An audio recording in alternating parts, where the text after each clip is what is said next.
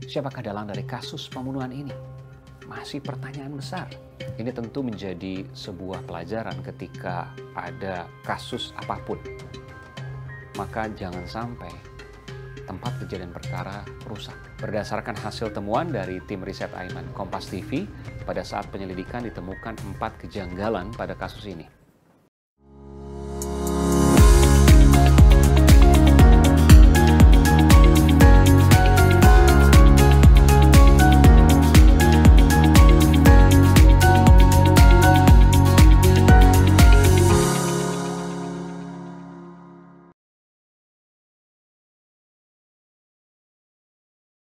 Halo saudara, bagaimana kabar Anda? Semoga Anda senantiasa dalam keadaan sehat-sehat dan baik-baik. Kita berjumpa lagi dalam podcast Aiman Ucaksono yang merupakan hasil kolaborasi antara Kompas TV, Media Podcast Network, dan Trusty Talent Management. Sebelum mulai, jangan lupa untuk follow dan beri rating pada podcast Aiman Ucaksono di Spotify dan subscribe YouTube Kompas TV supaya Anda tidak tertinggal pada setiap episode terbarunya. Saya akan berbagi cerita menarik dan berkesan seputar penggarapan program Aiman di Kompas TV dan pandangan saya sebagai seorang jurnalis akan sebuah isu yang belum pernah saya ceritakan sebelumnya. Semua akan saya bagikan eksklusif hanya di podcast Aiman Wicaksono. Pada episode kali ini, saudara, saya Aiman Wicaksono, jurnalis dan host program Aiman akan berkisah tentang kasus pembunuhan ibu dan anak di Subang yang terjadi sekitar lebih dari satu tahun yang lalu udah di-cut sama mama karena papa itu boros orang itu. Dan saudara, saya mulai untuk menggali fakta-fakta dari tempat kejadian perkara. Saya mencoba untuk berkeliling, saudara. Ini memang dikelilingi oleh kebun, ya, milik keluarga dari uh, Yosef Hidayat.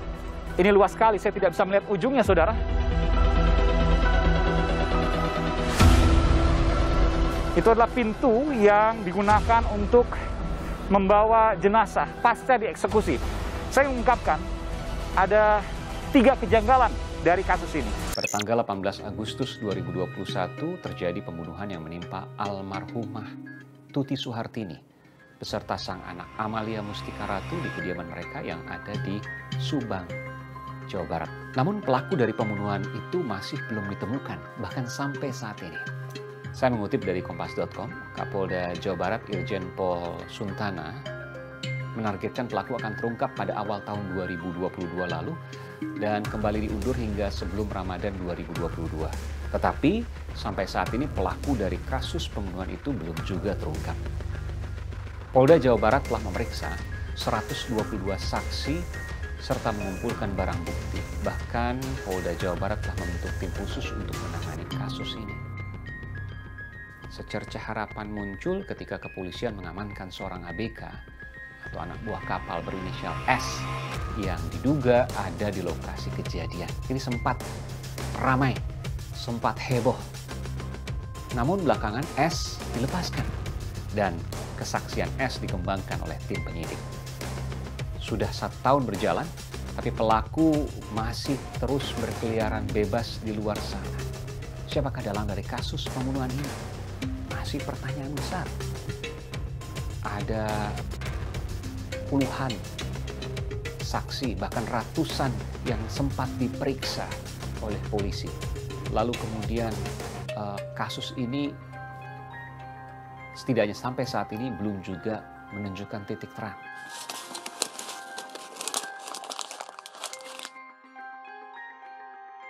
Apa yang menyebabkan begitu sulit? Salah satunya adalah karena tempat kejadian perkara yang diduga telah rusak. Sehingga polisi kesulitan untuk melakukan crime scene investigation atau olah tempat kejadian perkara secara saintifik, secara ilmiah. Ini tentu menjadi sebuah pelajaran ketika ada kasus apa pun. Maka jangan sampai tempat kejadian perkara rusak. Kasus yang rusak yang kedua adalah tempat kejadian perkara di Duren 3 terkait dengan pembunuhan Brigadir Yosua. Itu kemudian bisa berbelok ke sana sini pada awalnya karena memang TKP yang telah dirusak. Dan siapa yang merusak telah dilakukan sidang kode etik dan juga uh, penerasangkaan pada kasus obstruction of justice atau menghalang-halangi penyidikan. Pak Beni, mengapa lama kasus pembunuhan ibu dan anak di Subang, Jawa Barat? Ya, uh, yang pertama tentunya kami dari Kompolnas uh, selalu mengawal kasus ini. Kami selalu menanyakan kepada uh, pihak Polda Jabar sejauh mana penyidikannya, perkembangannya dan sebagainya. Dan terakhir uh, kami beberapa hari yang lalu juga melakukan pengecekan uh, belum ada kemajuan yang signifikan. Pihak kepolisian, saudara, telah mengumpulkan lebih dari 100 saksi dan sejumlah barang bukti untuk mengungkap pembunuhan. Namun sudah setahun penyelidikan kasus ini masih belum juga menemukan titik terang. Berdasarkan hasil temuan dari tim riset Ainan Kompas TV, pada saat penyelidikan ditemukan empat kejanggalan pada kasus ini. Pertama, tidak ditemukan rekaman percakapan pelaku. Kedua, tidak ditemukan keberadaan pelaku melalui cek lokasi yang dimungkinkan menggunakan teknologi. Artinya apa? Kemungkinan pelaku sama sekali tidak membawa alat komunikasi. Kok bisa? Dua hal. Diduga ia orang yang sangat paham akan model pengecekan seperti ini. Dan yang kedua memang dia betul-betul orang yang tidak menggunakan handphone atau jarang menggunakan handphone meskipun alasan kedua ini rasanya kok sulit untuk dibayangkan karena zaman sekarang hampir tidak ada orang yang lepas dari handphone. Kemudian yang ketiga, sidik jari dan DNA pelaku di TKP tidak dikenali. Ini karena TKP telah rusak. Serta yang keempat tidak ditemukannya keberadaan pelaku pada CCTV terdekat dari TKP empat kejanggalan yang sampai saat ini masih jadi pertanyaan dan menyebabkan kasus ini begitu panjang untuk diungkap. Melalui kejanggalan itu kemudian muncul pertanyaan, apa sebenarnya motif dari sang pelaku? Ini tentu yang menjadi sebuah pertanyaan besar karena belum ada hal yang bisa mengarahkan ke sana. Meskipun pada awalnya dikaitkan ke konflik keluarga, dikaitkan ke konflik yayasan antara sang bapak ayah yang telah memiliki uh, istri muda dengan sang ibu yang kemudian uh, berebut soal yayasan. Tapi hal ini tentu tidak bisa dikonfirmasi secara jelas karena tidak jelas apakah hal itu yang terjadi atau tidak. Meskipun ketika saya pernah wawancari sang anak, sang anak mencurigai ada hal-hal seperti itu yang bisa terjadi atas kekecewaan. Meskipun saya juga mewawancari sang ayah, sang ayah menyatakan bahwa ia sangat terpukul dengan kejadian ini dan berharap proses pembunuhan ini atau kejadian pembunuhan ini segera terungkap. Yang jelas, selama belum ada putusan pengadilan, maka asas praduga tak bersalah harus dijunjung tinggi. Pelaku bukanlah pelaku pembunuhan biasa. Yang pertama, saudara, penyelidik biasa menggunakan rekaman percakapan baik suara maupun tertulis untuk mencari bukti yang dijejaki sebelum kejadian. Hasilnya, nihil. Artinya pelaku paham, tidak ada komunikasi yang menunjukkan pada jejak pelaku beberapa waktu belakangan sebelum kejadian. Kedua, penyelidik biasa menggunakan cek lokasi untuk mengetahui orang.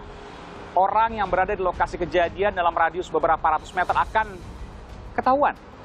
Ini dimungkinkan dengan penggunaan teknologi, namun hasilnya nihil. Artinya pelaku tersebut paham dan bisa menghindari agar jejaknya tidak ketahuan sama sekali oleh polisi. Dan yang paling dasar, saudara, penyelidik biasa mencari jejak di TKP, tempat kejadian perkara, yang mengarah pada pelaku, entah sidik jari, DNA, atau apa pun yang didapat dari bagian tubuh dan pakaian pelaku. Dan hasilnya di tempat kejadian perkara, pada saat kejadian terjadi, nihil Padahal dari informasi pelaku sempat mencuci bagian tubuhnya dari darah yang terkena di dirinya dan dilakukan di kamar mandi. Pelaku bisa mengaburkan semua jejak yang ada, bahkan jejak paling dasar sekalipun di TKP. Empat, penyelidik biasa menggunakan rekaman kamera pengawas alias CCTV di sekitar lokasi. Jika tidak ada, maka pencarian diperluas ke daerah yang terdekat dan mengarah ke tempat kejadian perkara. Dan semua ini hasilnya kembali nihil. Dan sekali lagi bukan hanya kasus Subang yang belum terungkap. Ada juga kasus Aksena Ahad Dori pada tahun 2015 yang sampai saat ini juga belum terungkap. Ia temukan tewas dibunuh di Danau Universitas Indonesia. Dan sampai saat ini kasusnya masih terus menggantung. ada beberapa kasus pula yang memang masih juga belum terungkap. Dalam sebuah kasus, ada yang sulit, ada setengah sulit, ada yang mudah. Tapi yang jelas, semuanya harus berbasis ilmiah untuk pembuktiannya, karena akan diuji di pengadilan dan tidak boleh menangkap orang yang salah. Asas praduga tak bersalah sekali lagi harus menjadi hal yang dijunjung tinggi pada setiap kasus-kasus pidana sampai ia berkekuatan hukum tetap. Demikianlah saudara, momen ataupun peristiwa menarik di balik penggarapan program Aiman yang dapat saya bagian pada kesempatan kali ini. Jangan lupa untuk subscribe YouTube Kompas TV dan follow Spotify podcast Aiman Wicaksono untuk terus tahu episode terbarunya. Sehat selalu untuk Anda semua. Dan terima kasih, sampai berjumpa kembali di podcast Aiman Wicaksono selanjutnya. Salam.